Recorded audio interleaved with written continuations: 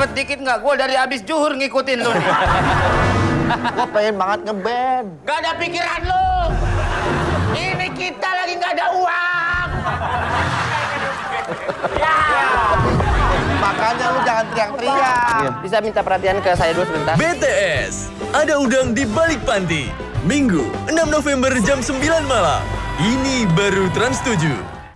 Ada oli yang bagus. Kami punya oli hebat, harga bersahabat. Oli Eneos NXP. New Extra Performance. Oli kualitas Jepang. Rekomendasi ahlinya Olive. Ini kembaliannya. Wah, terima kasih. Kami rekomendasikan Oli Eneos NXP Japan Quality. Inilah sebuah persembahan bagi jiwa yang layak mendapatkan lambang kebanggaan Indonesia. Yamaha All New NMAX 155. Live the pride. semakin di depan. Full gas.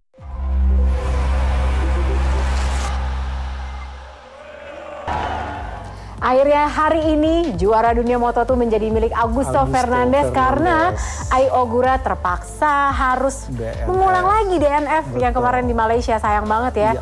Jadi ini seperti yang tadi kita ngobrol gitu pas lagi race semua skillnya tuh luar biasa banget. Seperti Anda lihat juga Pedro Acosta hari ini luar biasa. Semua skillnya tuh hebat, tapi Iya. memang mental yang menentukan. Dan Betul. Augusto Fernandes mateng banget sih. Betul. Nggak salah dia naik kelas ke MotoGP ya.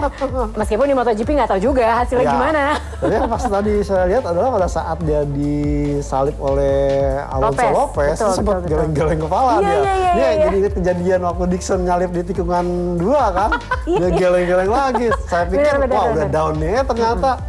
Ya sebenarnya momentumnya adalah saat ya itu tadi Acosta yang Menekan Ogura menekan justru. Ogura, Betul. Ogura terpancing untuk melakukan tekanan-tekanan yang akhirnya membuat Ayo Ogura harus melakukan kesalahan dan kehilangan di depan di tikungan 8 akhirnya ya. udah Selesai deh semuanya ya. selesai. Nah ini kita Selamat buat Augusto Fernandes. selamat untuk Augusto Fernandes. Ada Alcoba yang Iya. menghajar Mattia Passini. Nah itu dia Betul. langsung dapat long lap penalti Long lap gitu. Karena penalti. ya itu memang merugikan rider lain Rider gitu ya. lain, nah itulah hebatnya Moto2 ya.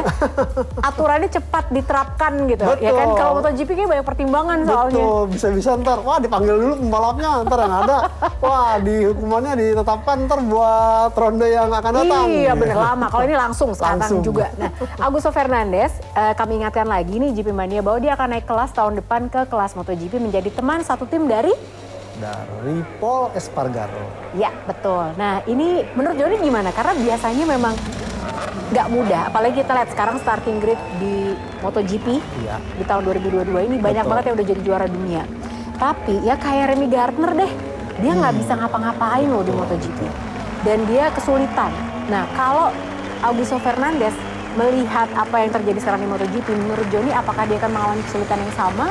Atau mungkin sebetulnya akan beda ceritanya? Ini kita akan lihat karena Hmm. dengan KTM versi gas-gas kita akan lihat karena KTM tahun depan tuh akan melakukan perubahan yang sangat signifikan. Benar. Bagaimana mereka meng-hire Jack Miller, kemudian Jack Miller pun bawa, bawa kru banyak chiefnya. kru chiefnya Kemudian kan. juga ada kru chiefnya Enea Bastianini, Iya. Albix yang selama ini membawa Dovizio Sorana tiga kali juga ikut ke KTM. Artinya Hmm. sangat serius dan bahkan disinyalir KTM pun meng-hire aerodinamika dari tim Red Bull F1. Jadi saya rasa mereka sadar bahwa ya mengcopy paste dari Ducati itu salah satu cara untuk bisa meraih keberhasilan. Nah, seandainya ini dilakukan dan ternyata bisa berpengaruh baik buat Augusto Fernandes, mungkin performa, performa dia di MotoGP musim depan akan lebih baik ketimbang Remy Gardner atau Raul Fernandes. Dengan teman satu timnya Paul Espargaro, menurut Mas Joni, dynamics-nya akan seperti apa? Karena kita lihat Ya. Paul Espargaro sebetulnya sekarang di Honda dia begitu tersiksa gitu dalam tanda Betul. kutip karena nggak keluar potensinya sama sekali. Betul. Nah, kalau dengan tim baru ini apalagi akan berpartner dengan Augusto Fernandes gimana? Ja- Jadi kalau kita lihat Paul Espargaro kan sempat mengembangkan KTM. Jadi memang udah punya kemampuan dan skill Iya. sehingga punya jam terbang dan pengalaman dan juga masukan. Setidaknya mungkin dia akan jadi referensi buat Iya. Augusto Fernandes menaklukkan gas-gas MotoGP tahun depan. Seru sih ya sebenarnya ya Betul. Paul Espargaro bukan orang orang baru Bukan buat KTM baru. orang lama ya Betul. lama sebenarnya. Nah jangan ke mana-mana GP Mania kita masih punya hadiah jutaan rupiah buat anda. Ivan sebentar lagi akan hadir jadi silakan yang pengen dapat hadiahnya follow akun Twitter kita di @trans7gp atau akun Instagram kita di @officialmotogp t7 kami akan segera kembali.